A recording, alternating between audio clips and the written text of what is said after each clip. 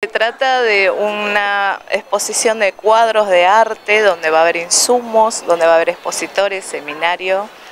Bueno, ahí van a haber eh, artistas de todo el noreste argentino, sería de Chaco, Formosa, Misiones, Entre Río, Corrientes. Y bueno, ahí esperamos con mucha expectativa que sea de, gusto para todos. Así que... ¿Qué, tenés para presentar en esto que va a ser eh, este lindo evento en Posada?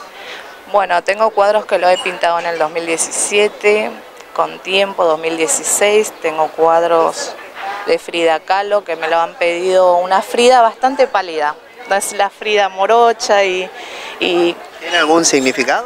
Una Frida delicada, ese es su significado, no la Frida convencional. Después vemos a una dama con, con sombrero. Con galera, sí, una dama bastante atractiva abajo. Que me representa también.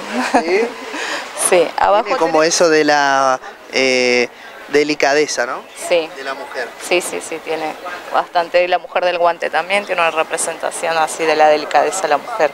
Bueno, acá abajo vemos un cuadro de, de un paisaje misionero donde tiene muchos lapachos florecidos, un caminito de tierra, un ranchito en el cual el ranchito también es de madera y representa los colores también de Misiones y el fondo del río Paraná. ¿Cómo te sentís con esta convocatoria? Me siento muy orgullosa de, haber, de estar representando Puerto Iguazú más que todo. Eh, me siento plena, siento que el arte ahora está en su máximo esplendor y que, que todos podamos apreciar esto, lo que es el arte, donde uno se expresa.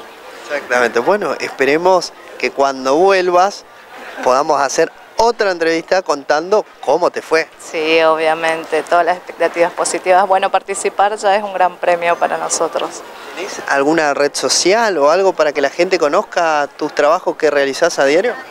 Tengo mi Instagram, pero estoy en estos días que voy a armar algo para, para mis trabajos. Bien, excelente. Eh, ¿Las pinturas están a la venta?